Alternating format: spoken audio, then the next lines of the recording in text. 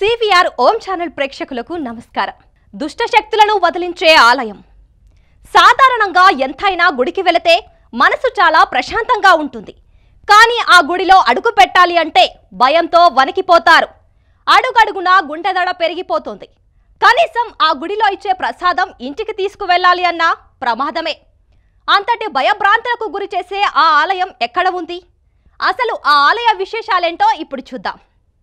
ఆ గుడిలో అడుగు పెట్టగానే భయానకమైన అరుపులు కేకలు గుండెదడించేస్తాయి దర్శనానికి వచ్చే భక్తులను చూస్తేనే సగం ప్రాణాలు గాల్లో కలిసిపోతాయి.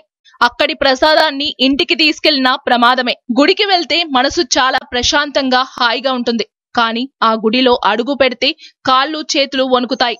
గుడి గంట మోగిన గుండె దడ పెరుగుతుంది. అరుపులు కేకలు పూనకంతో ఊగిపోయే జనాలు. వామ్మో! ఒక్కటేమిటి? ఇంకా చాలానే కనిపిస్తాయి. ఇండియాలో మరే ఆలయంలో కనిపించని భయానక వాతావరణం ఇక్కడ ఉంటుంది.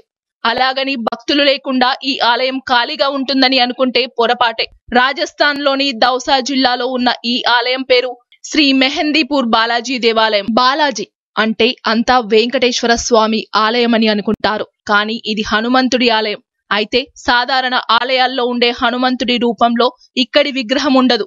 పెద్ద పెద్ద కళ్ళతో కోపంగా చూస్తున్నట్లుగా ఉంటుంది. ఆ విగ్రహాలని చూడగానే దయ్యాలు పారిపోతాయని భక్తులు విశ్వసిస్తారు. పైగా వారి నమ్మకం ఏనాడు వమ్ముకాలే దెయ్యాలను వదిలించే శక్తి గల ఆలయం గురించి తెలిసి దేశం నలుమూలల నుంచి వేలాది మంది భక్తులు ఇక్కడికి తరలి వస్తుంటారు. సాధారణ భక్తులు ఈ ఆలయంలో అడుగు పెడితే చాలా వింతైన అనుభూతి కలుగుతుంది. దుష్ట శక్తులను వదిలించుకోవడానికి భక్తులు రోజూ ఇక్కడికి తరలి వస్తారు. కుల మతాలకు అతీతంగా ఈ ఆలయాన్ని దర్శించుకుంటారు. దయ్యం పట్టిన ఆప్తులను ఆలయానికి తీసుకువచ్చి స్వామి స్వాంతాన పొందుతారు. కానీ బాధితుల అరుపుల వల్ల ఈ ఆలయంలో ఒక భయంకరమైన వాతావరణం కనిపిస్తోంది. మహిమగల ఆంజనేయ స్వామి స్వయంగా భూత వైద్యం చేసే ఆశ్చర్యకరమైన దృశ్యాలు ఇక్కడ కనిపిస్తాయి. దీనిపై దేశ విదేశాలకు చెందిన అనేక మంది శాస్త్రవేత్తలు ఎన్నో పరిశోధనలు చేశారు. కానీ ఎవ్వరికీ దాని వెనుక రహస్యం అంతు చిక్కలేదు. దెయ్యం పట్టి వింత వింతగా ప్రవర్తించే వ్యక్తులు ఇక్కడికి రాగానే సాధారణ స్థితికి చేరుకుంటారు. దీంతో కులమతాలకు అతీతంగా భక్తులు ఈ ఆలయాన్ని దర్శించుకుంటారు. దయ్యం పట్టిన ఆప్తులను ఆలయానికి తీసుకొచ్చి స్వామి స్వాంతన పొందుతారు. ఇలాంటి బాధితులు ఇక్కడ వందల సంఖ్యలో కనిపిస్తుంటారు. వారి అరుపుల వల్ల ఈ ఆలయంలో ఓ భయానకమైన వాతావరణం కనిపిస్తుంది. అందుకే సాధారణ భక్తులు ఈ ఆలయానికి వెళ్ళాలంటేనే హడలిపోతారు.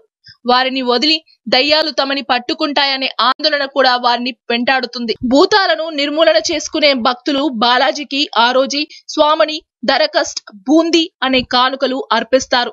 ఆలయం లోపల భైరవ బాబాను దర్శించుకొని అన్నాన్ని నైవేద్యంగా సమర్పిస్తారు.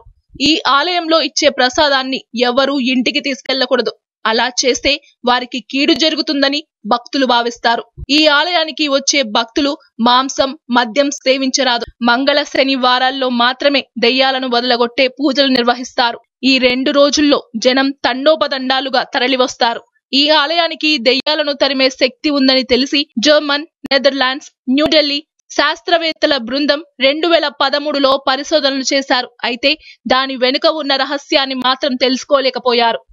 భూత వైద్యం సమయంలో దుష్ట శక్తులతో బాధపడే వారిని ఆలయంలోని ప్రత్యేక స్థలంలో ఒంటరిగా వదిలేయాలి. కొద్దిసేపటి తర్వాత వారు సాధారణ వ్యక్తుల్లా పూర్తి ఆరోగ్యంతో తిరిగి వస్తారు. చూశారు కదా మెహందీపూర్ బాలాజీ ఆలయ విశేషాలు. మరొక ఆసక్తికర ఆలయ విశేషాలతో మళ్ళీ కలుద్దాం. నమస్కారం.